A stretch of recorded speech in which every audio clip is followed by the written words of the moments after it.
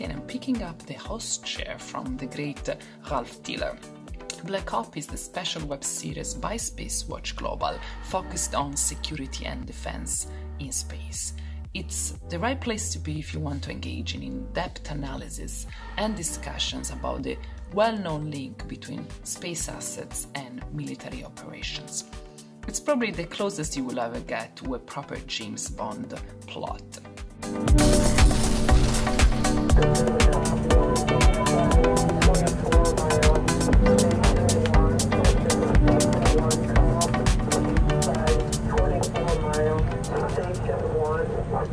It is Wednesday afternoon. It's 4 p.m. in Central Europe, and it's time for another episode of our Space Cafe Black Ops by Dr. Emma Gatti. As always, we really appreciate your participation and ongoing feedback as we will learn and improve based on that.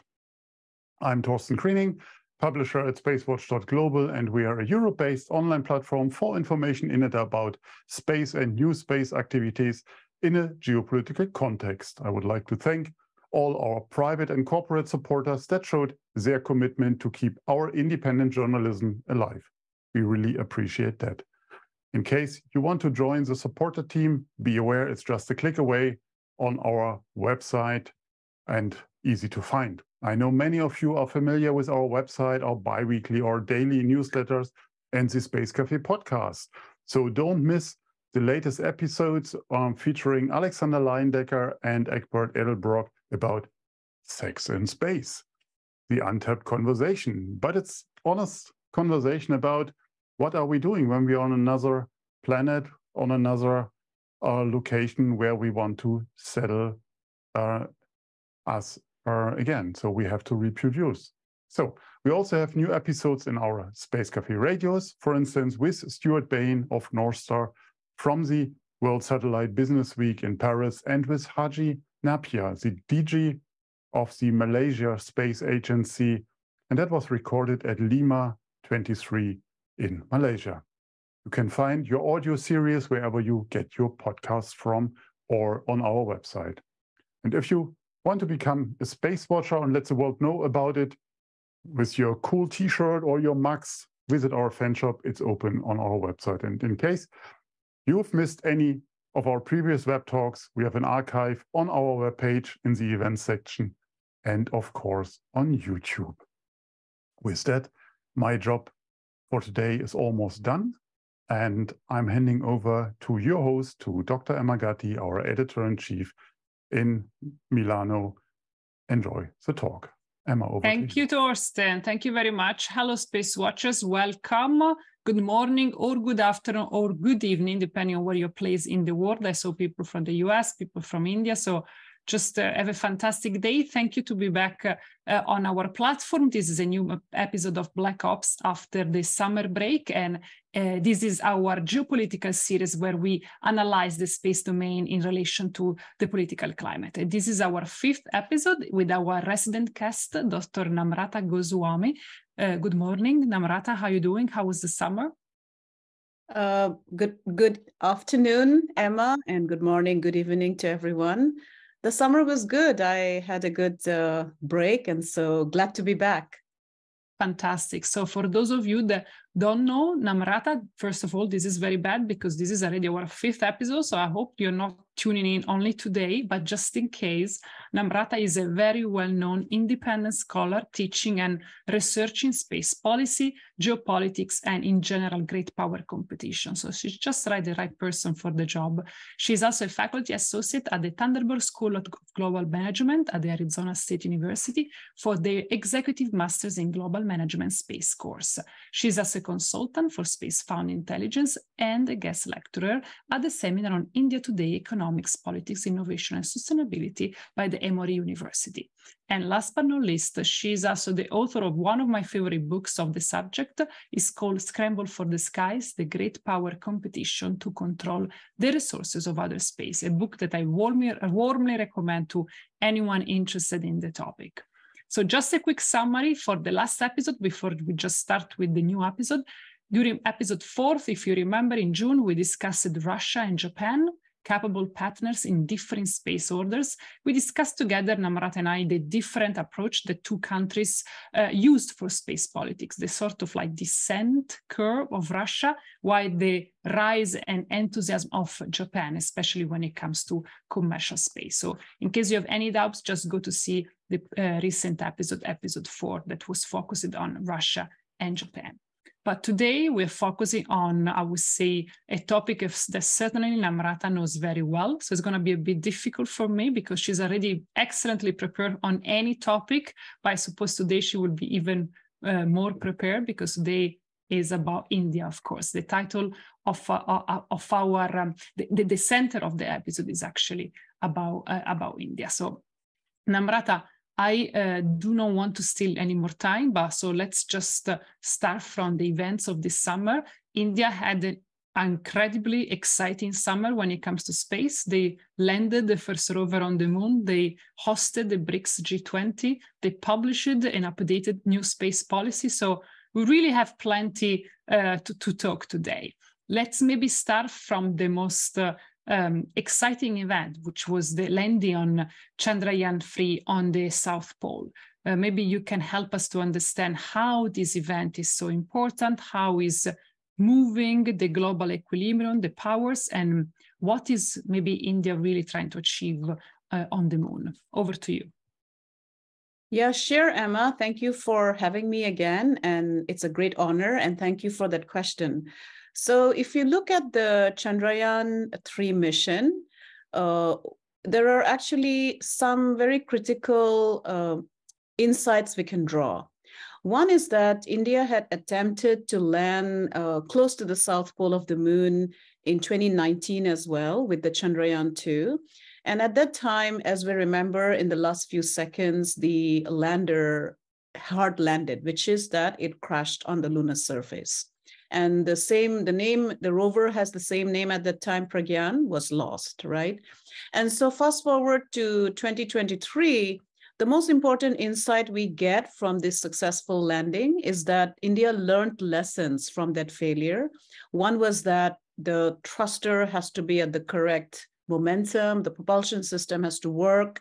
And what was uh, interesting was that the indian space research organization uh, put out uh, pre-landing briefs that said that they were built on a mission to fail. So they had accounted for all kinds of failure. So the biggest achievement is that they clinched the soft landing uh, on the close to the south pole of the moon.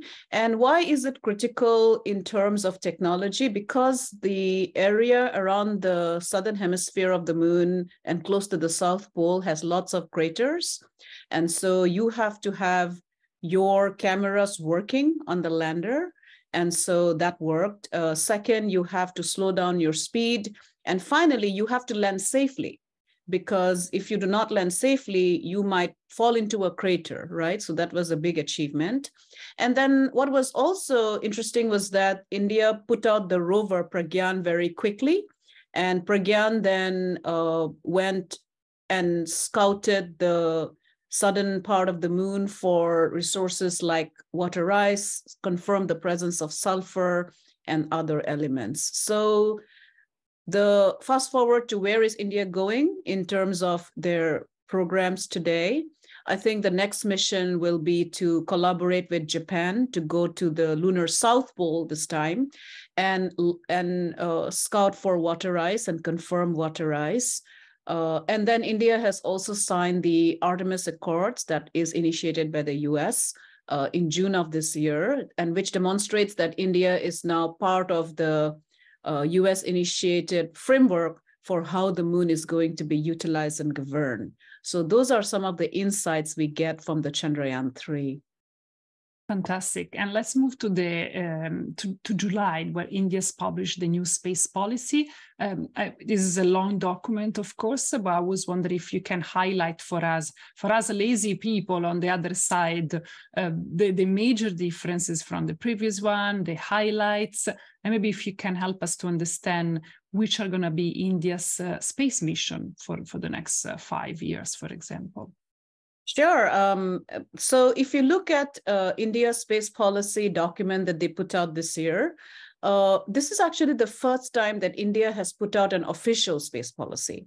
So before, of course, as you mentioned, there were documents put out by the Indian Space Research Organization, the Vikram Sarabhai Institute, uh, put out certain timelines as to where India will go and what kind of missions they will focus. For example, by 2025, the Vikram Sarabhai Center said that they would focus on remote sensing satellites, reusable technology, right?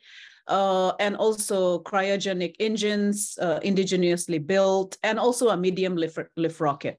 So in the space policy document, what is so interesting is that for the first time, India has officially clarified what its institutional structures will be within India. So there was lack of clarity as to who makes space policy, uh, who would give licenses to private entities, how will that be regulated? So now it's very clear that the Department of Space makes the space policy and then the Indian Space Research Organization basically would be a research and development entity. And then the IN-SPACe and the New Space India Limited will be the organizations that will forward and uh, offer licenses and funding for India's private space actors. So in a nutshell, what the space policy document clearly signals to the world is that India has taken a major decision to completely privatize its end-to-end space activity. So the focus is that because of this particular policy shift, historically, India's space program has been very state-funded and Indian Space Research Organization dominated. But today, India has made a shift to enabling its private space sector to becoming the key actor, including manufacturing, building launch systems, satellite, uh, as well as building into national security space. I'll finally end by saying that one of the most critical insights that you get from the space policy document is India's position on what about ownership of space resources. So till now, there is no clarity internationally, including from the Outer Space Treaty, as to how are you going to regulate space mining activity, for example. There is a lot of focus on mining resources on the moon, like uh, helium-3, water ice, elements like titanium, aluminum. And the Outer Space Treaty, because it was conceptualized in 1967, did not anticipate that future. And we have talked about this earlier in your show. Absolutely. So in the in the Indian space policy document, there is a paragraph that clarifies that if an Indian citizen or a non-government entity is able to have the technology to extract resources, for example, on a celestial body, they can keep it. So this is following, as you know, Emma, with the. US commercial, yeah, Japan, uh, the U.S. Commercial Space Launch Competitive Act and Luxembourg's acts, right? That en that enables very similar ownership. So I think that's a really interesting position for India to take. And as you know, practice can become customary law, right? Once you have a practice of such sort. My only critique of the document is that a space policy document should be much more than telling about internal bureaucratic institutional reorganization, right? That could have been one section, but should not have been the entire document. I think India did not tell the world how it is going to focus on different civilian space missions. What is the timeline of those space missions? For example, going to the moon, building satellite internet, uh, the second Mars mission, and why? Why is India building this? And then there was absolutely nothing on national security space. So in my critique, a space policy document has to be comprehensive, and this particular document was not. Thank you, Namrata. Definitely. So before picking up on, what, on something that you said, I just wanted to go back one step and ask you this question. When you mention about the private space sector and the fact that India seems to want to move towards a sort of model that see um, a privatized sector, uh, I was wondering if you perceive the India situation is going to be more similar to Europe or US or to China? Because I remember when we discussed China, we discussed about the fact that the line that divides what is private and what is state is extremely blurry. Do you think that in India is going to have the similar situation, or you think that India is going to be more uh, clearly divided? So if you look at India's uh, nuclear and space program, uh, they're they're in a sense, uh, if you look at the framing, uh, very similar. So uh, while the Indian Space Research Organization and the private space actors that have been now developed, there are about 104 private space startups for civilian capability. There is a clear demarcation between civilian and military. So when you have tests like, for example, the 2019 anti-satellite weapon test called Mission Shakti that India did, it was the Defense Research and Development Organization that did it. So it's a completely different entity under the Ministry of Defense, right? Whereas the Indian Space Research Organization comes under the Department of Space which is under the prime minister's office. So there is, unlike China, where there is civil military fusion, in India, there is a clear demarcation of what is civilian and military space institutions, very similar to what you said, Emma, like Japan and the US. So, picking up on what you just say about military and defense and national security, um, we've discussed this for the US, but I think it's appropriate to also ask the same question for India. Does India has a military space policy and or a space force. So India does have a very similar institution like the US Space Force. So like the US in 2019 and the same year, India also developed the Defense Space Agency, which is under the Indian Air Force, very similar to the US Space Force, which is under the US Air Force, right? So unlike China, where the People's Liberation Army Strategic Support Force, despite the name, is an independent service. So, and which was constituted in 2015, so many years ahead. Uh, India has a very similar structure to the US. So uh, at least in terms of institutional restructuring, that has happened. Uh, India, as I said before, has anti-satellite weapon. India is also developing military satellite capability dedicated to its navy and army. Uh, India does not have the military capacity that China has. China has about 250 uh, satellites that support military capability. India does not. India has about three. Uh, India is trying to scale that up um, India does have the capability to destroy another country's satellite in case their satellite structure is targeted, as with the anti-satellite test. Now, to come to your question about does India have a military space policy? It's not clear, right? So while India argues that uh, space has become a very critical component of reconnaissance, intelligence, and surveillance, especially because India has disputed borders with both China and Pakistan. And we know that uh, in the 2020 uh, China India border crisis, the way that it was confirmed that PLA had built uh, physical structures on the Indian side of the line of actual control in the Himalayas, it was Maxar's satellite images, right? And so the thinking in India today is that the reason why India was not able to anticipate the Kargil conflict in the higher Himalayas with Pakistan was because of the failure of human intelligence. And so India needs to develop its own satellite military capability. So there is thinking.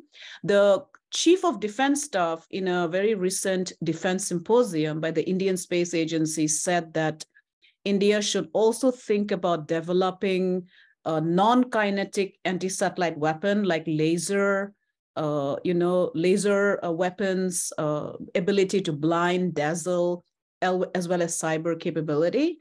But I don't see clarity in terms of a military space doctrine as yet.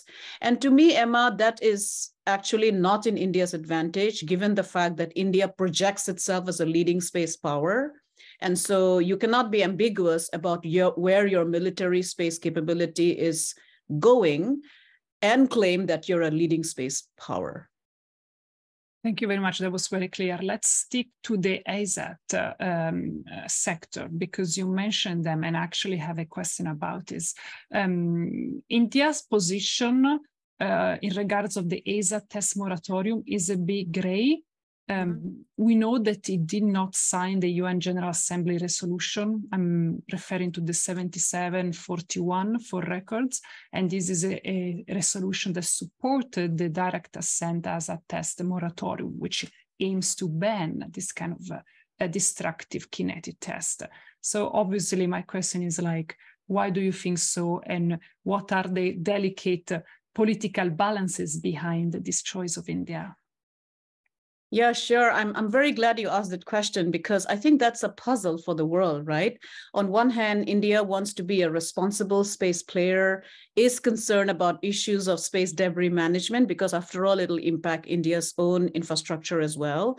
But on the other hand, at the level of the UN, India abstained from supporting, as you mentioned, uh, the US-led uh, anti-satellite moratorium. So if you look at the Indian position, and especially the position not just on the anti-satellite uh, weapon testing moratorium, but also on the position of the open-ended working group uh, that is talking about ensuring that space does not get militarized. India's position is that these are all norm-based entities, right? So by which it means that you will offer certain standard of behavior, but there is no legal obligation to follow it. And so the Indian position, and this is also the global South position to an extent, that unless you have a treaty bound legal mechanism that ensures that states not only concentrate on responsible behavior, but limit their capability you cannot be sure that nations will not engage in this activity in the future right? So you need to have treaty based obligation and that is the indian position and to an extent also the global south position. I say that because uh, historically the european union tried to build the european code of conduct in space and the biggest criticism that came from the developing world was that you can have code of conduct based on norms but what happens if a developed nation decides to uh, go against forget about the norms. Yeah forget about norms right? And do an activity that violates that. There is no legal consequence for it right?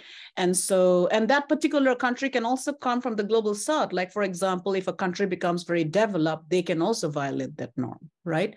So india's position is that that that is the number one principal objection. The second objection is that when you use words like responsible who decides? What means right? responsible? What it means and behavior. What do you mean by behavior? You know behavior can also be very subjective. The only thing that is not subjective is capability. Like if you have a moratorium on development of anti-satellite weapon that is much more powerful than trying to stop the behavior right and so that is the Indian uh, legal, I think, very legalistic position on why it abstained at the level of the United Nations.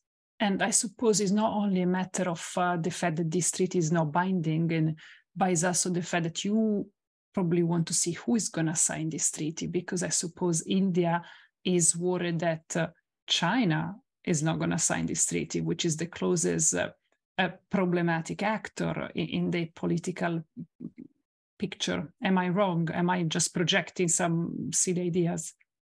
No, no, I think you are you've got it. So uh, you've been following this for so long, Emma. So your insights are very on target. So if you look at the uh, China-Russia proposal to uh, ban the placement of any kind of weapons in space, they only include space. They do not include the capabilities and for example, anti-satellite non-kinetic capability that you can develop on the ground, right? So while you might have limitations of what you can do in space, the concern is that what happens if there is a conflict, right? And you decide that it's in your interest to use your space weapons because you have the capability, right? And because it's a norm, even if you violate it, there is no legal mechanism for any kind of uh, consequence-based approach, right? And so, yeah, it's it's uh, India's position is very much as as you pointed out. and since we are on the topic, uh, I would like to analyze with you. I would like to know your opinion about the India versus China relationship. How do you think that these two powers, these two, these two space powers, will act in the future? They will become allies. They will remain in frosty relationship. How do you foresee this uh, complex and very important uh, relationship? Yeah, exactly as you put it, complex and very important relationship. So um, I think if I look at the history of both India and China, they had very similar ambitions when they developed their space program, right? We of course have to remember that China tested nuclear much ahead of India. And that's why it's a part of the nuclear non-proliferation treaty. So uh, both nations wanted to utilize space for their own national development uh, both wanted to use space for, for example, use satellite images for weather forecasting, agriculture, mapping, you know, development of e-television, satellite television, beg your pardon. And so, which enables their own citizens, right? And then navigation capability, which they were always focusing on. I think that has been true for several other nations as well. But I think where the problem comes is because you know, when we speak about space, and this is something that I have a critique of the global space uh, community to, in a, in a, uh, I feel there is a critique that is required. So when I hear discourses, for example, in the US, especially with the uh, community-based approaches, they talk as if uh, there is no connection of space to any other medium, right? So people imagine that because space is out there, we will behave differently in space, right? My critique is that that could be true, but the problem is that most nations use space for national security, and it's connected to their larger foreign policy posture and what they actually are suffering at the current moment, right? So for India, China, a collaborative approach in space is difficult because of the fact that both nations have disputed territory. Uh, they escalate at their border very frequently. Uh, Indian security personnel died in the conflict in 2020, which means it's a huge escalation. Uh, and finally, China does claim a lot of land in India, right? So 90,000 square kilometers, 36,000 uh, miles is not a joke. It's a huge amount of land that China claims as southern Tibet and then also some areas in Ladakh, like Aksai Chin, right? The fact that you have so many disputed territories, the fact that you're not able to come to any kind of negotiation framework and space is included in that particular comprehensive national power means, to answer your question, that a deeper collaboration is not possible when it comes to other space programs. That does not mean that China and India will not engage in economic uh, development or will have trade relations. They do. They have a very, uh, very big, as you know, uh, trade relation. I'll end by saying that one way this became clear was the fact that uh, President Xi Jinping decided not to attend the G20 summit that was hosted in India, right? So, a very clear signal to India that China does not accept India as a legitimate actor, and he only sent a low level delegation, but usually he has never skipped any G20 meeting. This was the first time, right? And also the fact that uh, he articulated a very different vision of where the world should go. And it was a snub at India because India was the president and the host of the G20 summit and thought that they had played a very good role. And space was included, by the way, in the G20 summit meeting, the science summit about collaboration. And so all this signaling tells you that China-India collaboration in space is going to be difficult. If not unimaginable, it can happen, but uh, the current uh, structure does not support it let's say that it's a frosty relationship at the moment. And as you say, of course, it's complicated because there are other trades deal on the table. So it's always very difficult to just merge all the needs and interests of this country, especially when we speak about two countries like China and, and India. Um, so uh, let's move to another power, India versus the US. Mm-hmm. We're having a partnership, yes. Um, why now and how is this partnership going to articulate itself?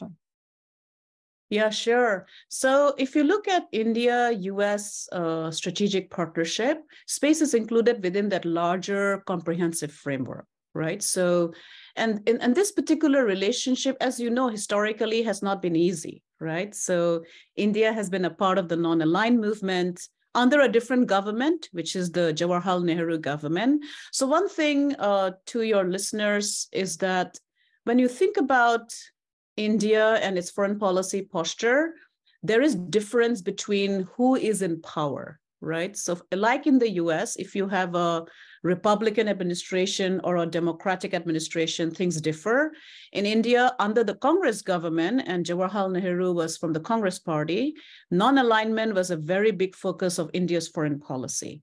And so aligning with the US or the Soviet Union was seen as to India's disadvantage. Having said that, Nehru was very impressed with Soviet plan economy because he felt that India had very similar problems. So the state has to play a very critical role in developing the economy. Now, also there were problems like US support to Pakistan during the East Pakistan crisis in 1971, where US moved the USS Enterprise, a nuclear capable carrier, India has not forgotten that. There are certain historical reasons, right? But now, fast forward to today. What is the situation today? That historical memory is still there. So there is a little bit of anxiety, which always comes because of the historical traumas. But I think the decision that has been taken since uh, Manmohan Singh's government, which is a Congress government, is that US India partnership is important in the 21st century because both are major nations in the world, democratic. They use elections to form government. Uh, they have a free press. And then there are also other technological capability that both nations can uh, benefit from.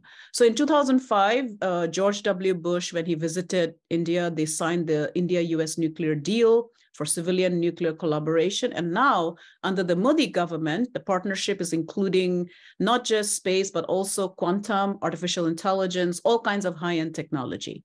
So, and then to end, to answer your question specifically, where is it going? So, first, it is within that comprehensive strategic partnership. Second, the rise of China and the fact that China threatens a peaceful mm-hmm. Indo Pacific is very important for both nations. And then in terms of space, both nations have decided to collaborate actually quite deeply. Development of technology. India has now instituted an Indus mechanism for defense partnerships with the US. India has also signed agreements like the Human Spaceflight Program, where they're collaborating with NASA to develop India's human spaceflight capability. And then both nations are going to go together to the International Space Station next year for the first time. So that's a big deal.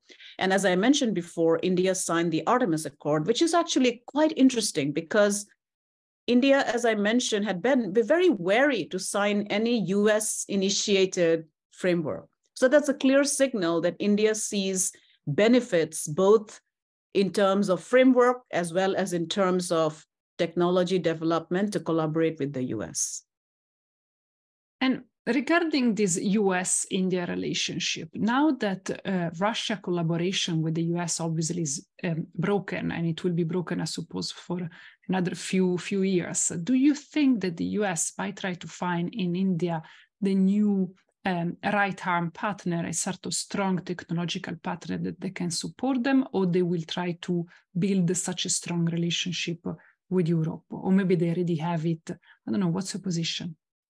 Yeah, so if you look at uh, the International Space Station, the biggest contribution is Russia, right, with the propulsion exactly. system, and and also before SpaceX, Russia had the capability to launch astronauts to the ISS.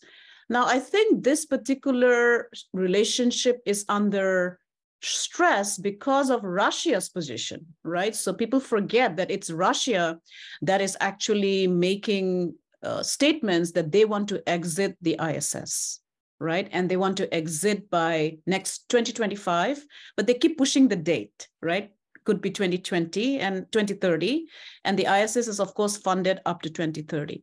So, given that, I think if you think about space capability development, uh, it takes a long time to build. So while India, now let, we have to be also realistic about India, India might not have the capability to do contribute as much as Russia does to the movement of the International Space Station. Russia has experience with its Mir station. India has never put such a big structure in space, right?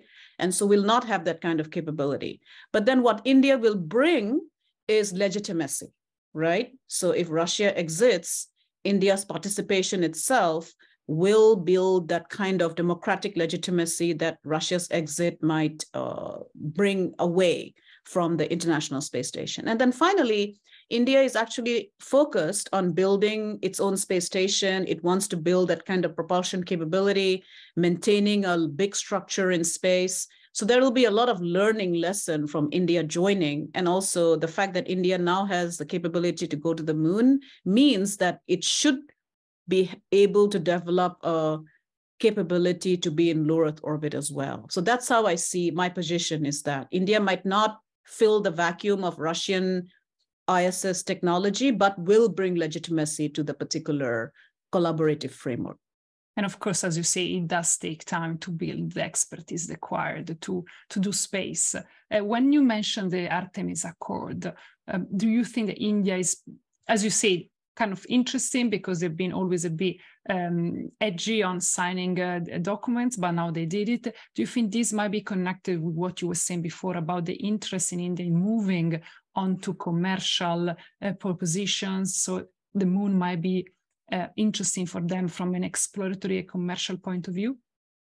Yes, because as you saw in their space policy document, they are moving for commercialization. Exactly. And uh, yeah, and India wants to, India is now going to partner with NASA for the commercial lunar payload services as well, right? So Indian private space companies are nowhere close to SpaceX or Blue Origin, for example, who are developing the lunar landers in capability. So collaborating through the Artemis Accord, building that commercial public-private partnership, also learning from the US experience as to how did it succeed in uh, motivating its own private sectors through a commercial lunar payload service, the cargo commercial crew, right? So that kind of uh, contribution is going to be extremely beneficial for India as well, as well as your question. I think you clinched it. It's also because India and I'll say this because there are facts to support it. So if you look at the Indian Space Research Organization's press release that they put out last year, they are hoping to increase India's contribution to the $400 billion industry today, which is just based on satellite communication navigation, to about 9% in 2030. They're about 1.2% today, which is very low. And then during the G20, India's science and technology minister pointed out that India aspires to contribute about uh, from 8 billion to about 40 billion to a 1 trillion space economy by 2040, right? So there are these ambitions. And then finally, when Modi uh, came back from the BRICS summit because he was in the BRICS summit in Johannesburg when India landed on the moon. Uh, his first visit was to ISRO. And in that particular visit, he pointed out that the focus of India's space program, end to end, be it low Earth orbit, the moon, Mars, is about commercial development of space. So your question clinched it. It is because of commercialization. And Namrata, just one question out of curiosity. Do you think that India has the potential to transform this ambition in actual concrete projects? Because sometimes we have analyzed this situation. Several countries have a huge ambition, but then they don't really do the groundwork to root this ambition to concrete planning and strategic thinking. Do you think India do you think India has the, the, the, the backbone structure to actually transform this ambition into concrete plans? Yeah, so if you look at uh, the India's development of its space capability, they're very practical, right? So one is that you have a, a capability to take about 1.75 tons to space through the Polar Satellite Launch Vehicle. So which means that the mission was set in such a way that it is low cost, but also practical. It was not about 140 metric tons to low Earth orbit, which is China's ambition, right? India also has a medium lift rocket with the geosynchronous launch vehicle Mark III that's able to take about eight tons to low Earth orbit, much lower than the Long March 5 with 25 tons. So I'm giving you this example because India set certain goals, but they're very practical, low cost, low weight, low launch, right? And so, which means that even their moon mission, the weight of the mission was such that it was much lower than Russia's Luna 25 mission, right? It was about 3,900 kg, uh, much lower. And so you needed a less propulsion system, which is, again, very practical because India does not have a heavy lift launch capability, right? Now, going forward, to answer your question, India now has missions that it has announced. For example, it is on its way to the Sun Earth Lagrange point. Again, a very practical mission, launch on the Polar Satellite Launch Vehicle. Uh, they'll be able to achieve that, I think, because they have done simulation and to park on the Sun Earth Lagrange point, which is the equal gravitational pull of both body, is difficult, but have been done before. And so India should be able to do it. Um, we'll see, but I, I give it 90% chance. There is always 10% chance of uncertainty. Of course, in space, especially. Yeah, yeah, exactly. And then Mars mission, India's already achieved uh, orbiter mission. So that again, the, the, second mission is going to study the Mars atmosphere much more. So that should be able to be done. India wants to develop satellite internet through its private space entity, and they're already starting to build it. Launch capability has already been demonstrated by Vikram Skyroot Aerospace. Uh, and so I think if you look at India's ambitions, uh, they are about collaboration with Japan and the US, particularly. Again, very practical missions. India already has demonstrated landing on the moon, so India obviously will contribute to Artemis partners. Uh, by the way, in today's context, none of the Artemis signatory nations have the capability to land on the moon, not even the US, right? It had it during the Apollo era, but not today. They're still trying to do it, but they're behind schedule. And so we'll have to wait and see. And Japan will try to land in four months. So, uh, I mean, India should be able to meet its ambition. Venus mission, the human spaceflight mission called Gaganyaan, they are collaborating with the US now. So that should lead to further development of capability. In fact, it's a strategic decision they have taken to collaborate. So uh, its ecosystem, the funding, the way they are enabling their private space sector, I see India succeeding, but it will take time, Emma. India's space program is slow uh, in terms of development because it is indigenous capability. And so it might take another 10 years, but they will get there.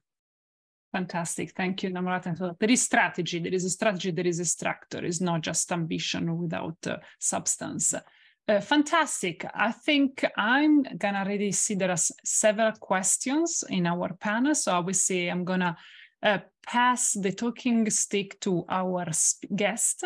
And the um, first question is um, AC, I'm not understanding, is it a question? Could you reformulate it in a question matter so I know what to ask Namrata? So I'm gonna just skip it for a second and then I will answer. It's just it. a statement. Ah, it's, it's a statement. Sorry. It's just sending his condolences to the uh, apparent end to the successful Chandrayaan 3 mission after the lunar night. Okay. So that's okay. it. Okay. So. Sorry. Sorry. Sorry. Sorry. I thought maybe I'm not understanding the question. Uh, Christophe, Christophe, thank you for mentioning the BRICS because. Uh, um, I wanted to ask the same question. Um, since President Modi proposed to create a BRICS plus plus space exploration organization, to which extent would that reshape the currently imposed dichotomy of Artemis versus ILRS, such as US versus China, and allow more options to participants? Yeah, sure.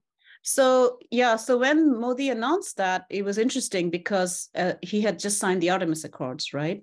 So I think the BRICS conceptualization of space is about developing capability like space exploration, missions to low Earth orbit, uh, developing capability for Earth observation, uh, including addressing issues like climate change. So there is really no convergence as to the missions, right? With the US, India is signed on to human space flight, signed on to lunar missions, uh, and planetary defense. I completely forgot to mention this to you. So, in the latest joint statement that came out of the G20, what was absolutely astounding to me was that India and the US are now collaborating in developing capability to deflect an asteroid, which they call planetary defense, which means both nations who are nuclear nations can develop nuclear technology to do this. We don't know, but that's one of the technology that NASA talks about. Now, in terms of the BRICS, so I don't see that kind of tension. Now, the interesting point is, if you think about India's presence in the BRICS, uh, it occurred much before the current uh, strategic convergence. I wouldn't use the word alignment, but partnership with the US. India is not an ally of the US like NATO allies. And so uh, India's presence in the BRICS creates an inf- inform influence power capability that is not devoid of being able to have conversations with China and Russia, right? So it is really critical if you want to talk about concepts like space debris management, space traffic management, consensus on uh, what is close approach for satellite without talking to China and Russia, who has enormous amount of satellites and anti-satellite weapon capability, you will not get nowhere, right? So the fact that BRICS has the ability to dialogue these issues is really critical. And so I think while we see the grouping as trying to build capability to bring other nations together, China, Russia actually got some other nations to join, as you know, right? And so it's a way and a mechanism to create a dialogue. Should it be seen as against the US? Uh, it appears like that, right? Because China, Russia are part of it. But then I would argue that India also sees itself as a leading actor and wants to play a role where it has multiple alignments, sometimes to its disadvantage, because nations do not trust nations that have so many multi alignments, right? But it can also be an advantage, right? So, uh, in terms of creating uh, for example, the G20 joint statement was very interesting because there was consensus. Uh, despite the fact that Ukraine was very critical, uh, it was important to have some level of understanding of where the nations are going. I'll finally end by saying that during the BRICS summit, and this is a great question, Christoph, because during the BRICS summit, South Africa signed the International Lunar Research Station with China. So, very clearly, uh, deciding to join the China led legal mechanism to utilize the moon, did not join Artemis, right? Unlike Rwanda that has. And so, and India that has.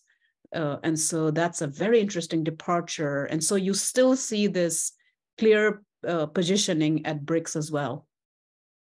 Thank you very much. Uh, we have a question by Kesha Verma.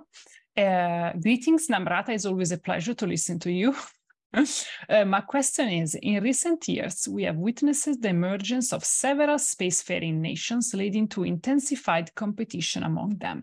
In such competitive environment, can Indian space diplomacy flourish? And how can it address challenges related to securing resources and security concerns? Yeah, so it's a difficult question to answer. And so I'm glad you asked it um, it challenges my own thinking at times because if you look at India's positioning, uh, it's clearly batting on the US side, right? As, as of today, it, it's becoming very clear, uh, including a closer and closer defense relationship.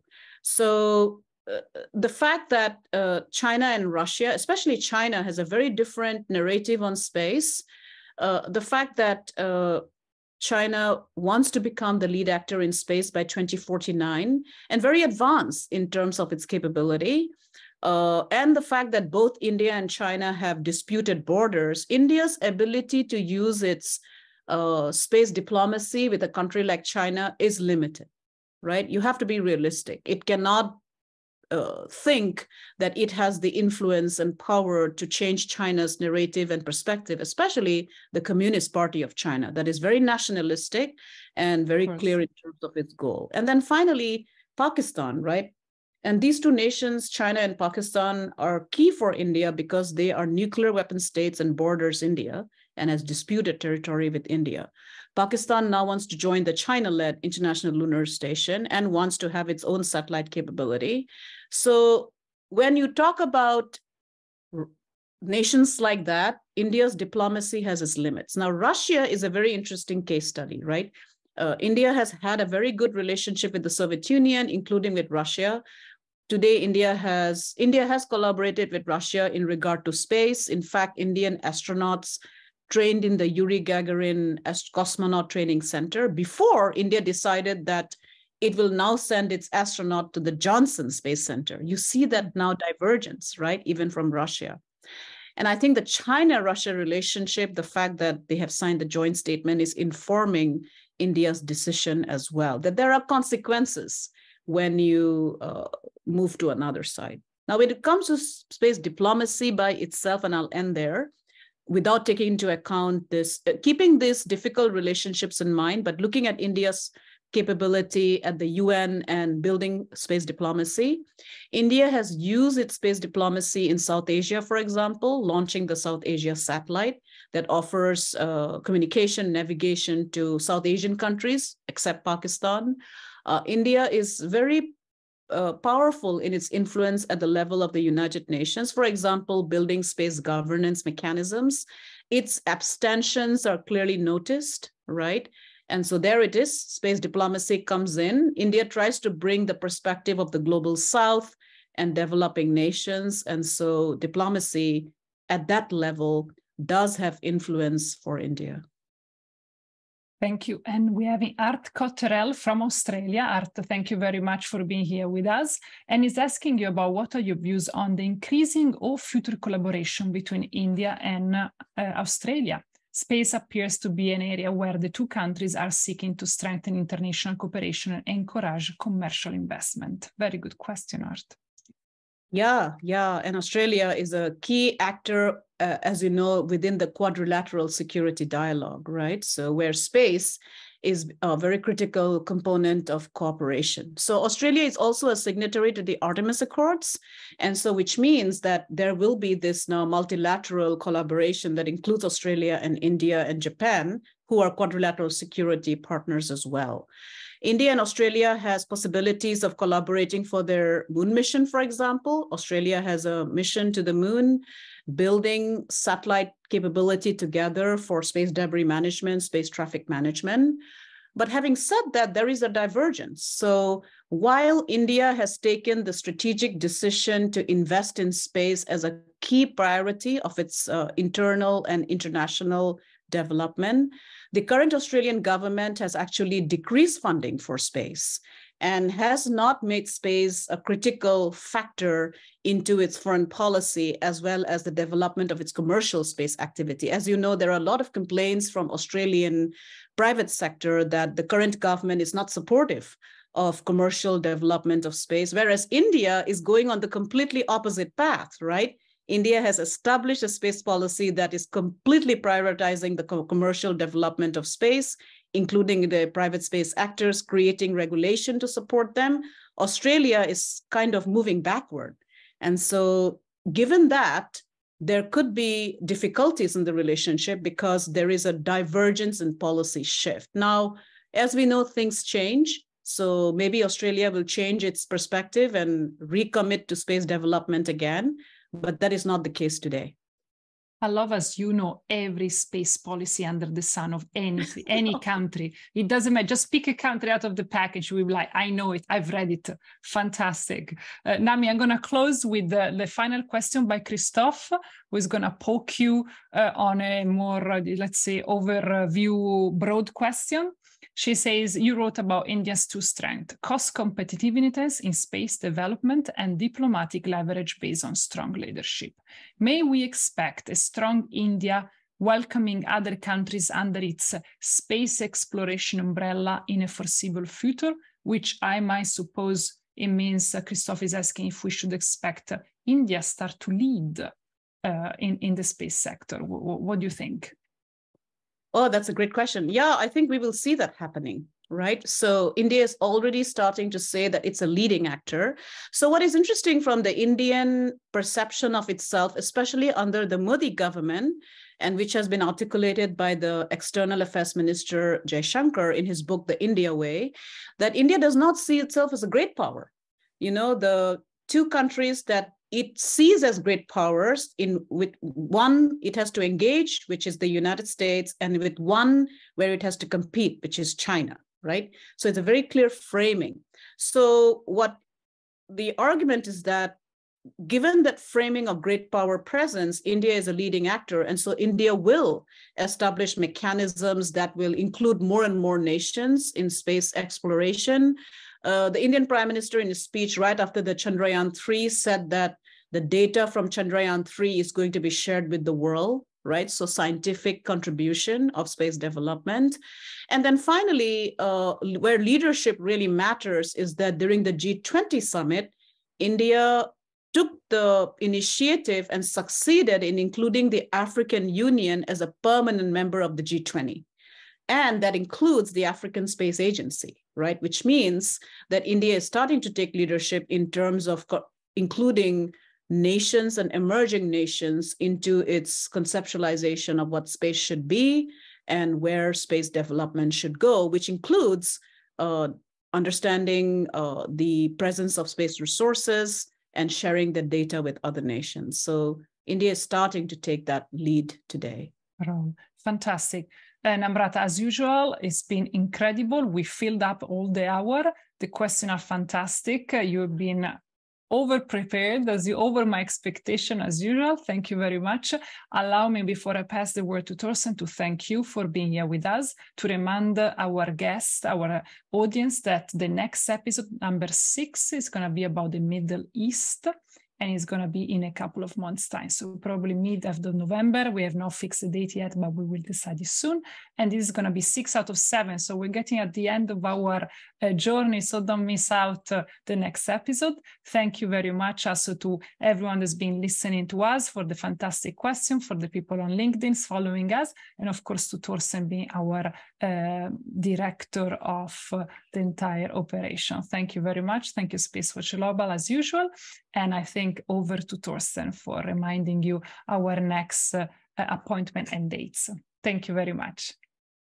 Um, no, but uh, thank you very much, Emma. Thank you very much, uh, Namrata. It was was wonderful uh, to to listen, and uh, we also got very positive feedback on on LinkedIn. Um, and yeah, just one thing to to challenge you, uh, Namrata. Germany recently signed the Artemis Accords, as you as you know.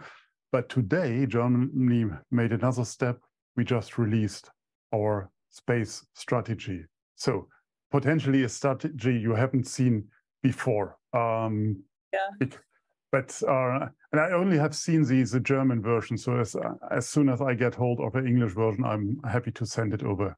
You will rise to the challenge, absolutely. Yes. yes. yeah. yeah. Oh, I would, I would really, I would, I'm looking forward to reading that. Uh, please do send it to me when they have an English translation. Yeah, um, I mean, I, I translated today um, the the press release uh, on on ChatGPT, which was fine enough. But I'm happy to send it over to you, and it will be up tomorrow on Spacewatch Global in our news section. So before we say goodbye, we would like to remind you of our upcoming events. And this week is very full. We have every day um, something that come, comes up tomorrow on the 28th or on Thursday at 4 p.m. We have our next Space Cafe Benelux by the wonderful Heike Ponyan. And she will talk with the head of space at the Belgian Defense, Major Nicolas Jerome. So I'm looking forward to that uh, very, very much. In the evening, tomorrow um, at 8 p.m., um, there will be the next Space Bar by Astro Agency, where we have the honor to provide the news section. And then on Friday, we close this week with our next Space Cafe Scotland by Angela Matisse. And the topics couldn't be more diverse than that. She will talk with Dennis Benez-Susanne. He is a space insurer, and this seemed enabling and protecting satellite services the ultimate insurance frontier. So we can do whatever we want to do in commercial space. If we can't find someone who insures us, then it's an wabong game. So Um, then in October, we will be mainly on the road. Uh, Emma will be in Germany, in Munich at Aurora Tech's Fire Conference on the 2nd and give a keynote there. I will be in Andoya um, at the Strategic Framework event. And then or a week later, I will be in Berlin at the Intergeo. Then on the 17th, we plan our next Space Cafe 33 Minutes with the Estonian leader Paul Liers. And then on the 18th, we have the German Space Congress uh, in Berlin.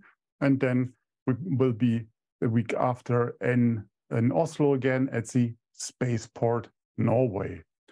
Um, please find all these events uh, and subscribe to, to them on Eventbrite. As always, we would like to hear your feedback. Please check in with us on Twitter, on Facebook, and LinkedIn. For those of from the newer generation, Twitter is what you call now X, but it sounds so strange still. However, don't forget to sign into our daily and biweekly newsletters. And if you want to support um, even more events like that one, go treat yourself with something special and become a space watcher today or help us in the supporter program.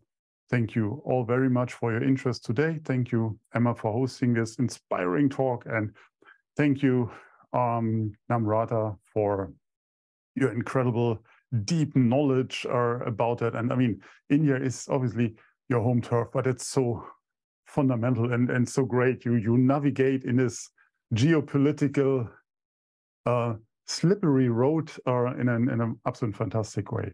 So, dear audience, thank you very much for joining us. Hope to see you tomorrow in or in our next events. In the meantime, visit our website or follow us on social media. And don't forget, become a space watcher. Thank you very much. Thank, Thank you. Bye.